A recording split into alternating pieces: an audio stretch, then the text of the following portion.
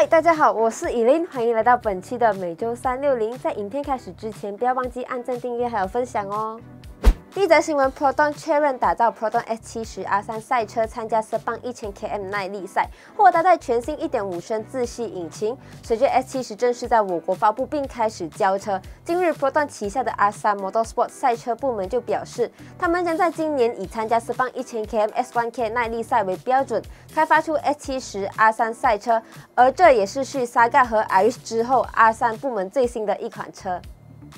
虽然暂时还没有太多详细的细节，不过预计 S70 将和 Saga 及 Iris 一样是一款适用于 MTC 级别的赛车。另外，虽然今年的 S1K MTC 级别详细比赛规则暂时还未释出，但是如果参考去年的规则的话，参赛车款车子搭载的必须是一千四百零一 cc 到一千六百 cc 排量的引擎，同时不能有机械增压或涡轮增压等额外的辅助。因此，也就是说，目前的 S70 并不能够直接用于参赛。对此，基本上原厂可以有三种做法：一是把涡轮增压器拆掉；二是用现有的 R3 Campro 一千五百九十七 cc 赛车引擎；三就是为它使用新的引擎动力配置。而考虑到之前传闻指宝腾将为 S70 搭载一具一点五升四缸自然进气引擎，因此相信后者的可能性会比较大。再加上规则限定，所有赛车都必须要最少产量两千五百辆，因此相信这个动力配置的 S70 未来将会推出市场。场销售，所以有新的动力配置的 S 七十很快就会和我们见面啦。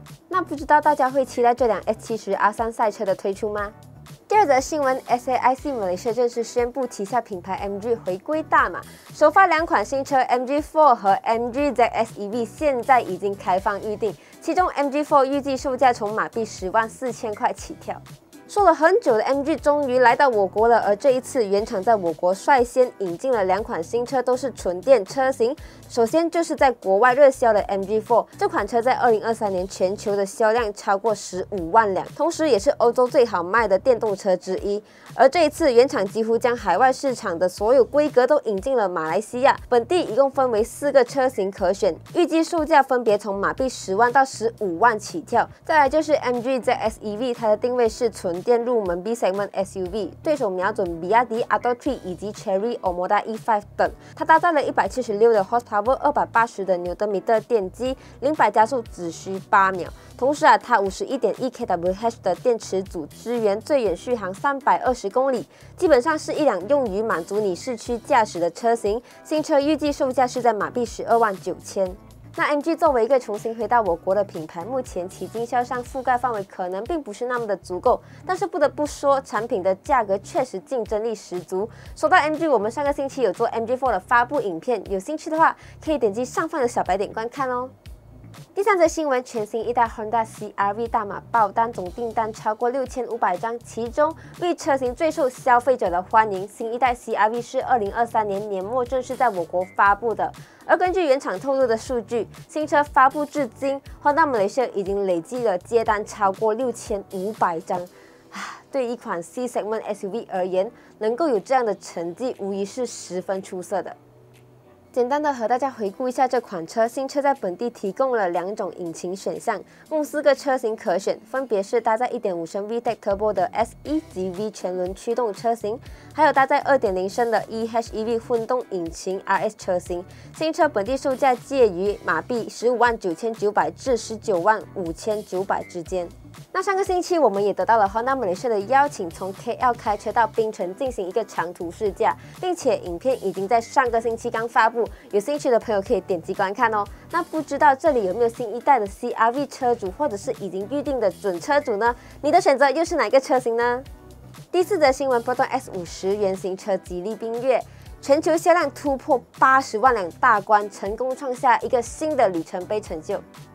根据 Geely Auto International 早前释出的数据，自从缤越在二零一八年十月三十一日全球首发以来啊，这款车在全球四十五个国家累计销量达到了八十万辆大关，并且这款车在美洲、中东、非洲、东欧和亚太地区各个市场都有出色的销售表现，更是成为多个市场中同级销量第一的车款。对于一款中国自主品牌车款而言，无疑是十分成功的成绩了。那吉利发布的这份数据并未提及是否包含我们熟悉的 Proton S 五十。不过去年 Proton 一共在全球售出了三万一千八百二十九辆 S 五十，也让到这款自二零二零年十月份发布的车款累计销量突破十万辆大关，而且基本上自它上市以来一直稳坐大马年度最好卖的 B segment SUV 宝座。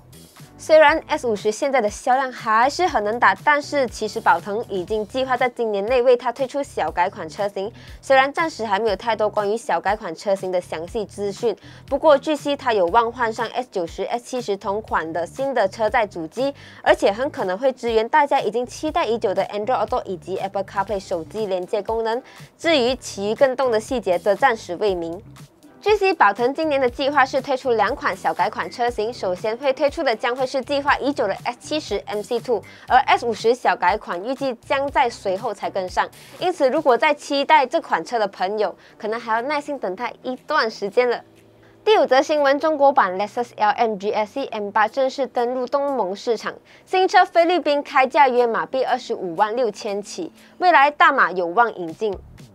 新一代 M8 在二零二二年于中国发布时，就因其和 Lexus LM 相似的外观设计而被中国网民戏称为“中国版 Lexus LM”。而今日，这款来自中国自主品牌的豪华 MPV 就正式出海，率先去到了菲律宾市场贩售。它的对手瞄准德代 Alpha 及 Lexus LM 等车型。那这一次，这款车在菲律宾当地仅提供了二升 TGDI 缸内直喷涡轮增压引擎配 iSIM 8AT 自排变速箱的动力选项，最大马力表现二百四十八。P 峰值扭力表现四百牛顿米，基本上这样子的引擎动力足以应对日常动力需求。不过菲律宾却没有提供得待 Hybrid System 作为动力系统的混动车型。暂时来说，这具混动引擎还是中国市场的专属。新车在菲律宾当地开价约马币二十五万六千零六十六令吉起。而随着 GSC Model 近期在积极发展大马市场，除了已经开放预定的 GS3 M 中之外，也已经预告，M Cool 和 iN Y Plus 都会在近年内登陆大马，因此相信未来 M8 还是有机会来到大马贩售的。